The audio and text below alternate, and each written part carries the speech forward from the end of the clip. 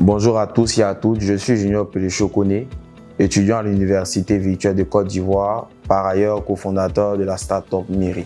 Bonjour, moi c'est Ngo Kwasi Ben Michael, 3D designer à Miri Group et je suis chargé de créer des environnements virtuels. Je suis Idris Kamara, cofondateur de la start-up Miri et je suis déchargé de tout ce qui est développement d'applications web et mobile. Donc, euh, je fais partie également de l'équipe qui a participé à la journée Job 2023.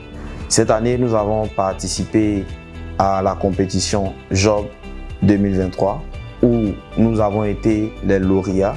Nous avons remporté le troisième prix.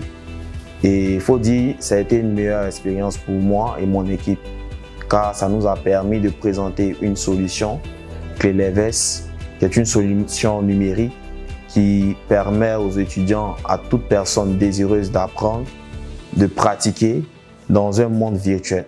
Il faut dire que dans ce monde, il y a de l'interaction, tout le monde peut échanger, communiquer, partager et socialiser. Parlant de projets, d'objectifs dans l'avenir du, du Metaverse, euh, c'est de créer des environnements virtuels, euh, faire des réunions en ligne, créer une éducation en ligne. Pour réussir le métaverse, il faut avoir des compétences techniques, de la créativité et des compétences au niveau de la communication.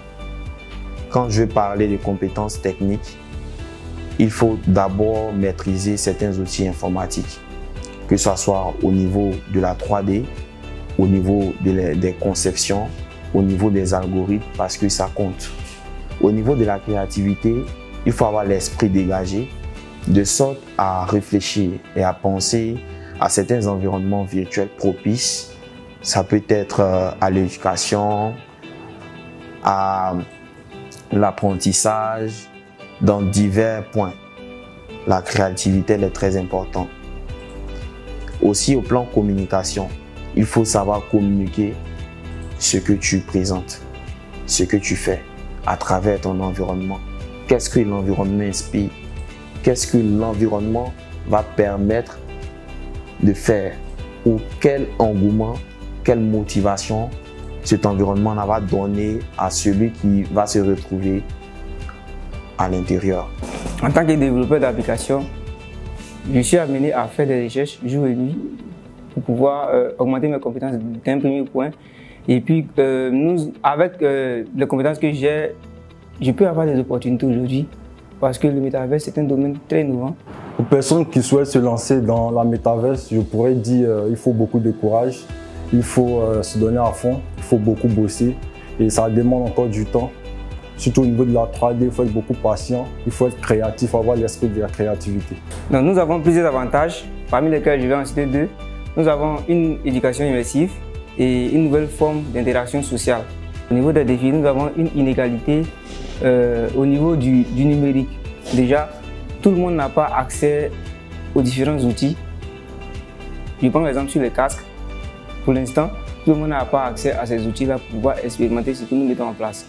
Donc c'est l'un des plus grands défis dans ce domaine-là. Nous avons également l'intégrité et puis la sécurité aussi des données au niveau de la métaverse, puisque tout le monde se connecte.